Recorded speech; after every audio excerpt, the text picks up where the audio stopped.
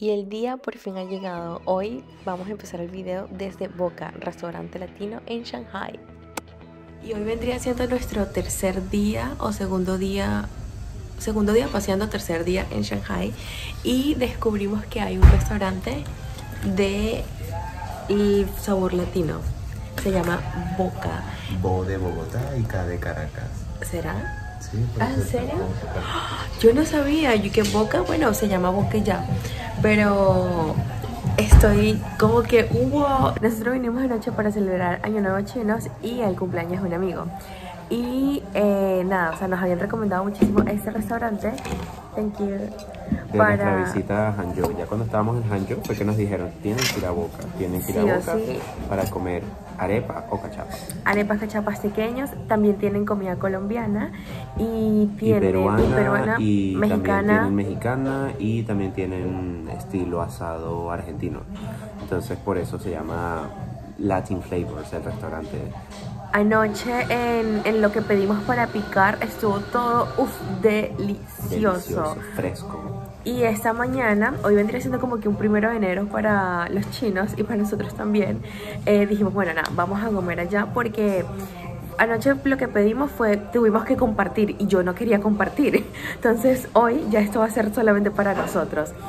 Eh, acá, ahorita voy a mostrar, hay fotos de Caracas, bueno, no solamente de Caracas, de Venezuela, eh, hay De fotos de Colombia. También y esto o sea, es lo que más predomina, ¿saben? Colombia, Venezuela, no, yo estoy demasiado feliz, aparte que tengo una nostalgia porque veo acá pabellón criollo, asado negro, eh, cachapas, arepas, están las arepas... em, Eso sí, aquí por primera vez en mi vida estoy viendo cachapas gourmet con Ay, sí. salmón noruego, con cóctel de camarones, Sí. con no, aquí están, hay muchísimas. a la capresa, Bueno, a, a lo que- a la imaginación de todo el mundo. Aquí las cachapas sí las usaban usando como arepa, o sea, una versión de que rellénalo con lo que quieras y ya. también consintiendo el paladar chino a ver qué, qué- qué quieren ellos. Y anoche lo que nos dimos cuenta es que aparte de venir colombianos y venezolanos, que es como que, bueno, aquí con más razón, vienen otros extranjeros de Latinoamérica Y de otras y partes de del otras partes del mundo y también se vacilan su arepita, sus pequeñitos Y su rumba latina. y su rumba latina, porque anoche acá fue puro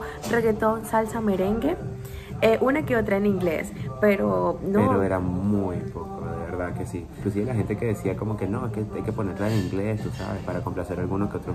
La- ese- Ellos Nada. mismos estaban como que no, no, vuelve al reggaetón, vuelve, al, vuelve a lo latino. Estamos acá para escuchar música latina.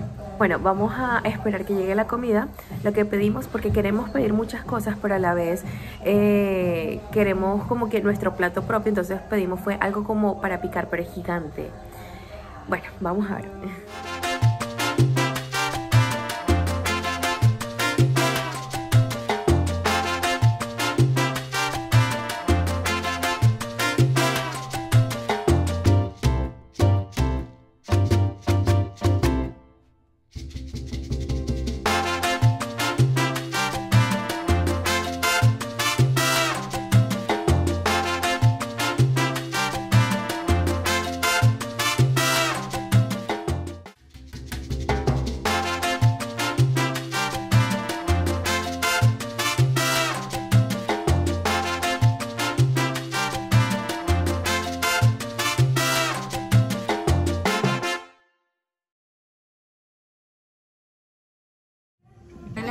Empanaditas.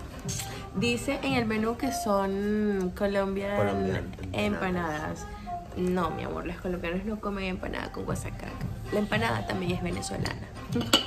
Em, no, pero está deliciosa. Son mini empanadas. Está deliciosa. Ayer he probado la mejor guasacaca después de haber salido de Venezuela. Dale a ver. Son muy calientes.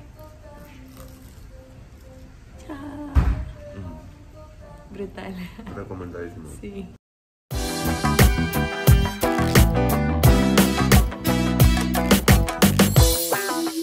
Ya llegó la, la tabla de comida, eh, lo de para picar. Entonces tenemos tajadas, pico de gallo, arepa, sol, como solomo pues, patacones, chicharrón, queso, eh, chorizo. ¡Ay, qué rico! No, eso está brutal, en serio. Yo Necesito venir a Shanghai más seguido. Las empanadas están divinas. Les puedo ayer en la noche que probamos, yo probé la carne y eso está como, o como solomo en el Monte Grill, o sea, una carne divina.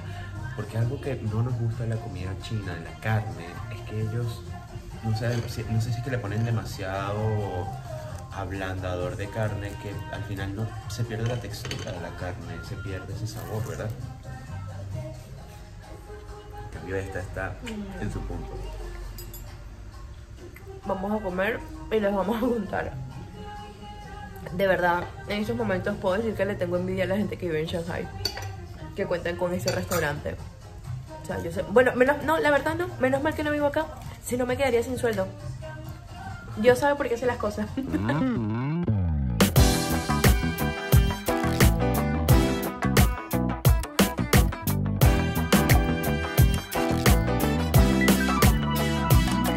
Ya, final todo.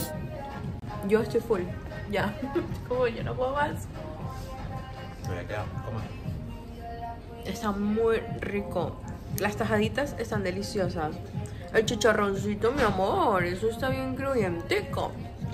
Eh, la carne está riquísima. La- con este cuchillo que yo tengo acá puedo cortar la carne porque se, se deshace, o sea, está divino. yo no soy fan de la yuca. A mí la verdad me gusta la yuca. Pero... Pero está rica. Igual me tengo que comer porque desde aquí no se va a perder nada.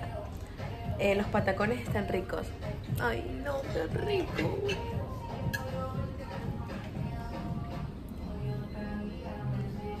Bueno, ya comimos, indio comido, indio ido.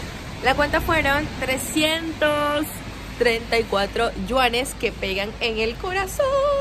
Al cambio, ¿Qué? ¿50 dólares? eh, 49.25 dólares fue lo que salió la cuenta.